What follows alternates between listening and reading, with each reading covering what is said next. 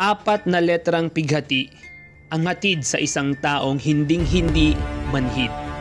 Sumisimbolo sa tapang dahil lumalaban at minsay ikinatutuwa pa ng kalaban. Dumadaloy ng kusa pagka nagdurusa ang puso at isip dahil sa ginawa. Sa iba'y ligaya ang dulot nitong tinutukoy kong sumisimbolo sa nararamdaman ng isang tao. Maraming ibig sabihin ang pagdaloy nito. Mula sa itaas ay pababa ito. Kabaligtaran ng kasiyahan at tinatangkilik ng kahirapan. Madalas ito sa mga bata naghihirap at dukha. Sapagkat ito'y katuwang na nila sa paglipas ng araw. Ito ang gamit ko pag nalulungkot ako. At tiyak kong ito rin ang gamit mo pag may nangyayaring hindi maganda sa iyo.